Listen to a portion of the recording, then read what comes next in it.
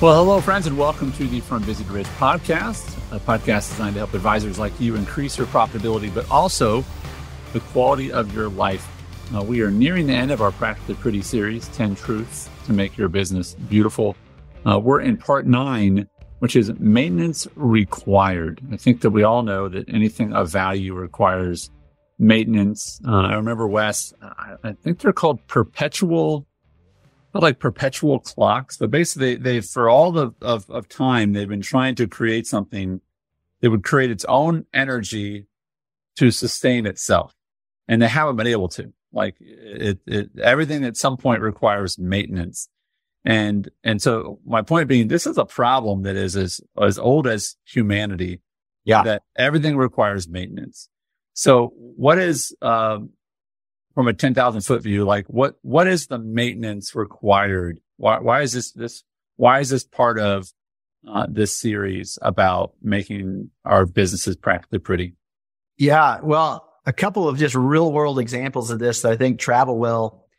Um, so last week I, I went to the dentist and, um, for, for, uh, by choice, like I, I actually made the appointment and, and went there not because like there wasn't something else more fun to do. Um, yeah, should be anything.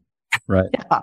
And, and the, the, this week, Jamie and I and Amit are going to spend a large chunk of money and time. We're driving to Fort Worth or Dallas and we're going to the Cooper Clinic, which is like this big, uh, since 1970 leading in preventative health where you do these treadmill, treadmill stress tests that keeps going on an incline and and they got you strapped up to all the EKG things, and then they take your blood, they they pinch your fat. Andy, not that you have any, but people like me have some fat, and then no.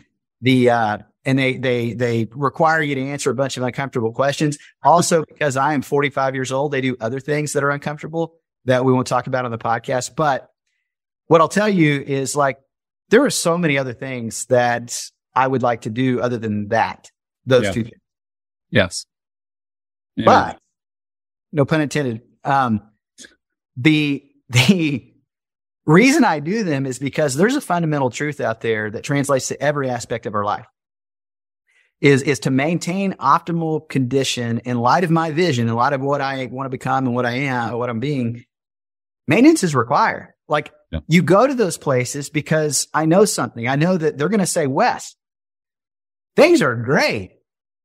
Or Wes, things are good, but here's something that we might want to watch and, and actually some new activity that you could do to not only stay where you are, but increase the, the, the, the, the outcomes of your health or, or the health of your teeth long term. As an example, I went in the other day and he said, Wes, there's a problem.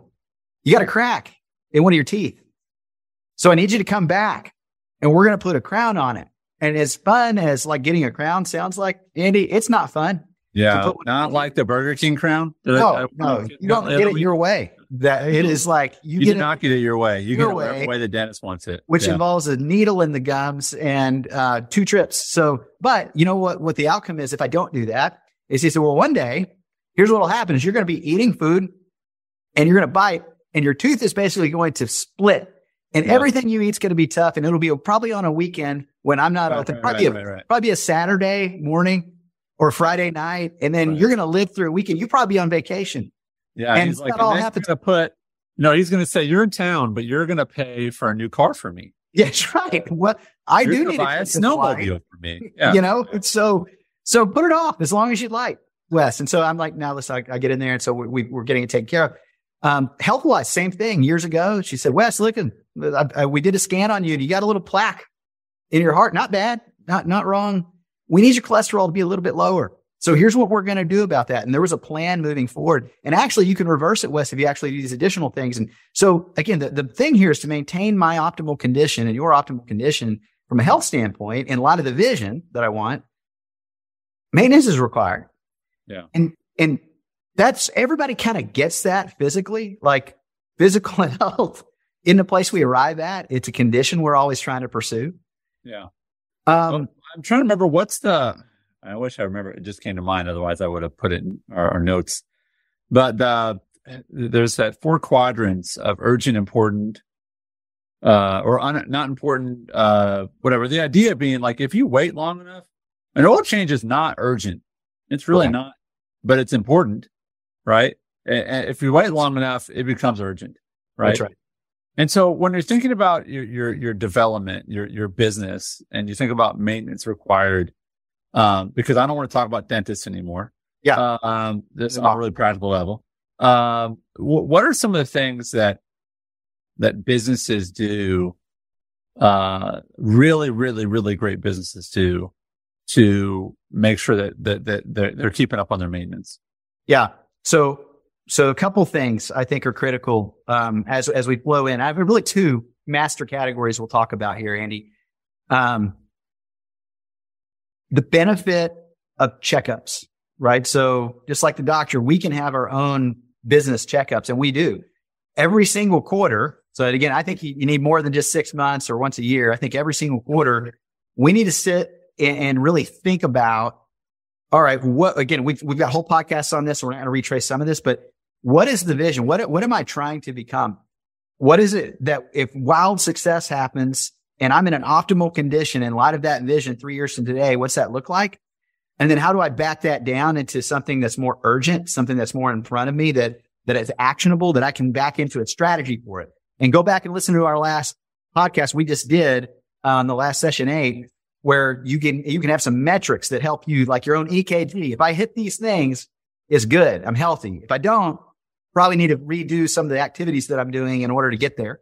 Um, but the benefits of checkup. So every single quarter, we we gather together as a team, and I and all of us in advance have the vision of the organization because again, I, I need everybody to be on board with what we're doing if they want to, you know, play in our band, if you will. And uh, and so if we are, then we talk about what we've been doing, how that's been working, and then we we effectively say, what do we need to change? In, light of that, what, what is, what is the one or two things we can stop doing? Maybe the one or two things we can start doing that are going to help move us in a positive direction. I will tell you another big one here, Andy, when it comes to these is every now and then I love bringing a coach in. Um, because a coach is like an outside expert that, that doesn't live in your own, your own narrative. Right. Can look at the entire team and can, and look at your vision and look at where you started from, the things you're talking about and, and a good coach, like we, we talked about Brian Cooper on our podcast before. He's our coach for a long time. There's lots of good coaches out there that can help you with this. Oftentimes he'll say, yeah, all that's great. Having observed hundreds of advisory practices in your stage, Wes, I would think about doing this one extra thing or stop doing this, these two things over here. But it doesn't happen unless you do the check in. Otherwise you'll live life by default instead of by design and wake up three years from today and you've changed nothing. You got just got older. Hmm. You know, I, and I would challenge our listeners with this really specifically is that I, I once consulted with a company. This is probably a decade ago. And there was, well, I'm not gonna, I'll save the punchline for later. Um, but this company, I'd asked the, the, uh, the leadership, I said, you know, do you feel like your team is really cohesive and everybody's on the same page? And I'm like, yeah, I mean, think people get it, you know? And then I talked to the staff and I said, do you feel like, you know, you know what's going on around here? And they're like, you know, Andy, there's this really weird thing where there's two floors to our building. And it literally is like two different companies. I know we all work for the same company, but it's like, and I said, oh, okay, that's interesting. Know, like there's a different social dynamic. There's just almost like a hierarchy, um, that's created. There's a lack of collaboration. Uh, we really just don't, we don't see them throughout the day. Like that's fascinating. And, and so I, I went back to the, the head leadership and I said, listen, like I know you think things are good, but people feel really disconnected. They feel like there's a rivalry. They feel like there's a hierarchy. I said, when's the last time you guys were all in the same room together? And this was like June. And he's like, man, to be honest with you, probably Christmas party. Like, dang, six months. Guess how many people worked at the company? How many? 11. 11. They did not have to go rent a stadium for everyone to be in the same room right? Wow. It was 11 people. Wow. Right. And the point is, it, it, this can happen with three people because if you're not stopping for the purpose of stopping, like, you know, I talk to them all the time. No, no, no. The, the purpose of stop, of resting, right? Like instead of sleep, I'm going to read. I feel like it's more productive. No, no, no. You can't read instead of sleep. You have to sleep. Right. right? right. You know, uh, you know, and, and they're not the same. I know you're not moving very much for when you're reading, but like they're different that you have to stop.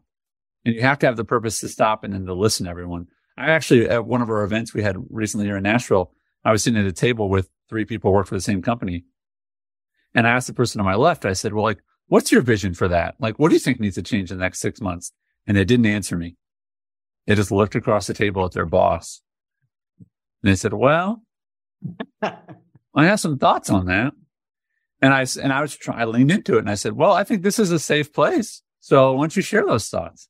And she was like, I don't know if it's a safe place, you know, like she didn't say that out loud, but, um, so the point is you have to create time to stop. Yeah. I've learned this in marriage. You know, things are good, things are good, things are good. I think things are good. So the only reason I think things are good is I haven't stopped to say, are they good? Yeah. That's, that's the only information. Not keeping score at all. No, right, right. We're winning. There's no EKG going on maritally, right. right? It's, yeah, right, right, right, right. So again, maintenance required, you've got to stop. And, yeah. and I would submit this thing and I will give a book recommendation. Uh, one of my favorite books of all time. It is called Sabbath. And I like it because it's, it's a faith book ish, but it, it talks about Sabbath and the idea of rest from a lot of different faith perspectives. Yeah. And one of the things it talks about is if you want to optimize growth in nature, all things that are physical, you have to rest that physical thing. It, it's not about for, for plants. It's not sunlight and moisture and chemical composition of the soil. If you want something to grow, it has to rest. And yeah. just grow, grow, grow, grow, as in go, go, go, go, go, it will not optimally grow. It will actually break because it needs to rest. And we, we talked about this uh, in, in our podcast that we just did on seasons, like on on playing music or making noise, yeah. and and how how true that is. And what we're talking about here is if if the only thing you have is an on season, and you don't have an off season, you can't repair the things that need to be repaired. You can't even check out and see totally what's messed up that might affect you next season. And you can't build yourself up to be prepared to run again. You've got to take the time. Those regular maintenance maintaining optimal condition in light of your vision requires that check in, regular benefits of checkup maintenance. Justin, what are your thoughts? Yeah, I love sports analogies, and I know Andy, you like these as well. So I've never thought of a sports analogy. Um, played just a little bit. So and, and you know that I used to train professional athletes and do that as well. So it's funny that you talk about it. When you look at athletes that are in the most elite like conditioning and or performance, whether it's MMA right. at, at C level or, or professional football players, whatever, they go through these same cycles. Like they've got the preseason and that's really where, where all the development and the growth and the testing and all that's coming in. Once they go into like actual season, it's really just a maintenance. How do we yeah. kind of maintain this level? We're really testing out the growth and everything that we did. But then post season, it's not right back into the, to the growth and development. It's recovery, right? Like you going into an MMA fighter comes out a fight, like it's recovery before yeah. we go back to the drawing board and say, all right, what worked well, what didn't? Create a new theory and a hypothesis of room for, for improvement. And then you go into the growth and then you go into the testing again. And so, yeah. so everything in life at elite levels, like goes through this cycle. And so it's a quick way, I think, to find if, if you're not doing this, you're, you're probably not operating at an elite level, at least not what you're capable of doing. Yeah. And if it's true of the most elite, which is what we're talking about with the practically pretty company, if it's true of them, then it should be true of you. I mean, it's, it's, I think I've shared the analogy or the story before of a friend of mine who owned a, a, a carpet cleaning business. And the way he was going to optimize his business was not to get twice as fast at cleaning carpets. At some point, like, he's like, no, I had to get other people because I can't just go all the time. Like I, I can't, the answer is not for me to be 10 times more productive. It's Run faster, work to, hard. Yeah, the scorecard, right? Right. It's to get other people involved. And so again, if it's true of professional athletes and it's true of your business as well, which is you have to have required maintenance. I would also submit one other thing, which I hope kind of piques some people's interest. When you go to buy something, I saw this yesterday. I was just on my Facebook. I like to look at Facebook Marketplace and some guy was selling a, a G Wagon.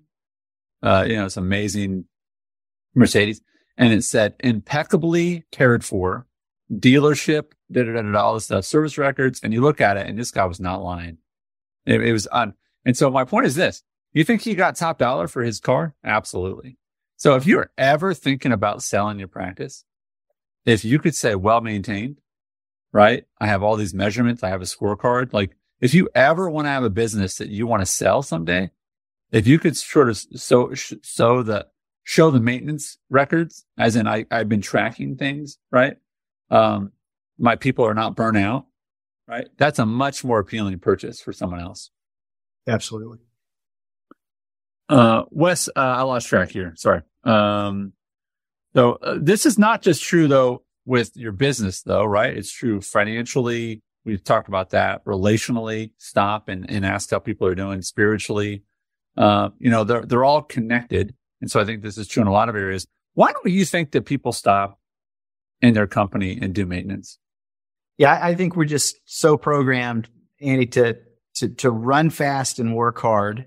I think that is the MO, the way forward. That in fact, when you first come into the business, the financial business, that really is not bad advice. You you are given a you know a, a made minimally competent at something, and then you run as fast as you can, work as hard as you can with that thing, but you do hit the ceilings. Like you said earlier, it's it, eventually it becomes I can only run so fast and work so hard with my current level of of competence. I've got to begin to develop new competencies and actually assess what I want them to be. What do I want to become? So when you're maintaining your your your optimal condition in light of the vision and, and using maintenance for it, that involves those checkups, that involves stopping. It's it's a discipline that we see exists across the board in everybody that's doing this at Elite Well.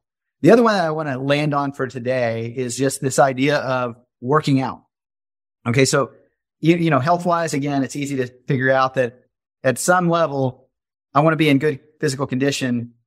I need some sort of regular compounding workout. Okay. I need some kind of activity. And if you're going to continue to evolve into the kind of advisor the clients you're looking for are looking for, you've got to have some level of working out. And I would even basically think of it in terms of preparation.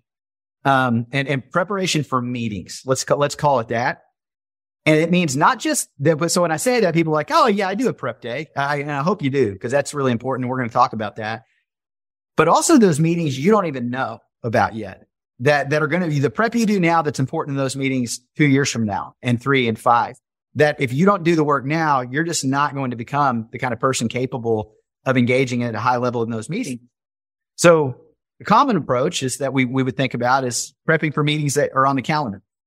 And that's why we talk about this all the time. If you're not doing it, highly recommend it. Our planning team every Monday, we prepare for the next upcoming week's meetings. And w- what's cool about that is it's group prep. And, and by group prep, everybody's kind of individually looked at it and they've thought about what in the narratives checklist, what may apply for this client and a lot of where the client is and a lot of the, the future that the client we talked about they're moving towards. But then you get a room of other people. And while you've kind of had these ideas, it's one thing to hear them in your head. And another thing when you're in a room and you're creating things together. Um, oftentimes we will be in a room and we'll come up with an idea none of us had at that in on on our private prep because there's something to to like to to dancing with each other in the idea yep, world. Yep. Yep. This this learning, and thinking out loud is is like oftentimes in the podcast that the, everybody hears. It's not guys that we we believe it or not actually talk about these things in advance. And I I kind of build a rough outline, and we were like, mm-hmm. hey, I think here's an idea, but we'll get in here, and in the process of of conversation, new ideas come up and we just roll with a lot of them because they're so relevant that none of us had prior to this. But it's, this is a big, it, it's the same thing when you're preparing for client meetings. You need that. If you don't have that, that group prep, I would tell you, you need to get a buddy. You need to get a friend that's maybe you don't have a team, big team yet. That's like, this is their zone. Get somebody else who's in the business. Say, Hey, would you mind every Monday for an hour if you and I talked about cases that we're working on and, and client situations and and just dance with each other back and forth. I mean, years before we had a big team, my buddy Chris Fulbright, who we're going to have on the show, um, he he and I would spend you know a couple hours a week just tossing back and forth ideas that we were thinking about using, and new better ideas came out of that. So I think okay. yes, prep, but group prep is important to be elite to to maintain your optimal condition in light of your vision. Yeah, I mean, again, I want to encourage folks if if you're not taking the time for this, understand that, you know, it's, it's, it's, it might be the most important time, which is really sad and scary to think about. Like people will shorten their sleep, you know, and they'll say like, if you're going to cut anything, don't cut sleep. You know what I mean? Uh, and so just, just remember that, that, that quiet time, that, that, that time where you're just letting ideas come to you and you're processing information. Um, you know, the maintenance of sometimes just quietness and reflection, um, is really, really, really, really important. And if you're really, if you feel like you're on the hamster wheel and you can't get off, um, it might be because, um, you're just living, you're believing a lie that maintenance is not required.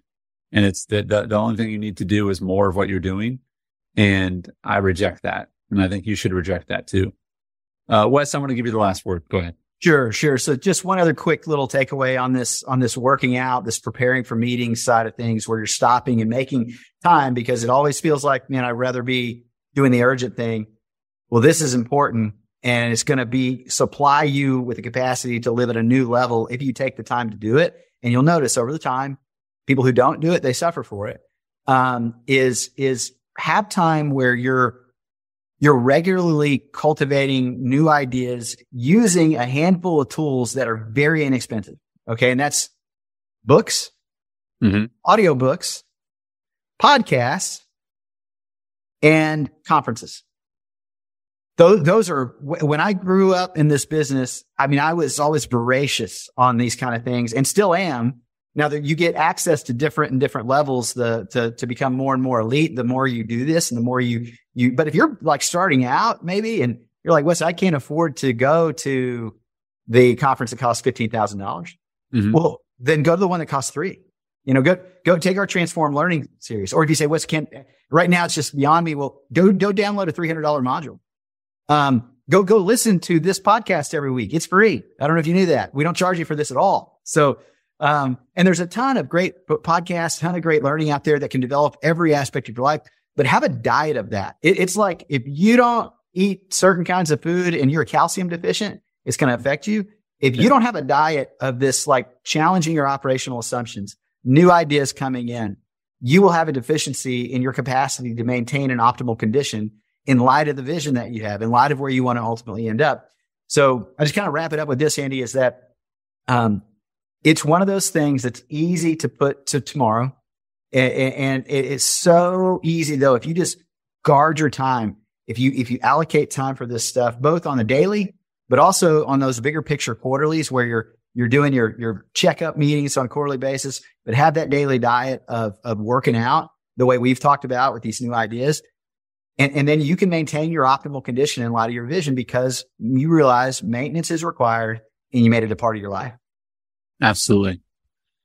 Well, Wes, thanks for your time. And folks, thanks for listening as always. Uh, and if you want to uh, learn more about those things that Wes talked about, go to wesyounglive.com and you can learn about those modules or the full Transform series. Uh, thanks for listening as always. Thanks for your reviews, and we'll catch you on our next one.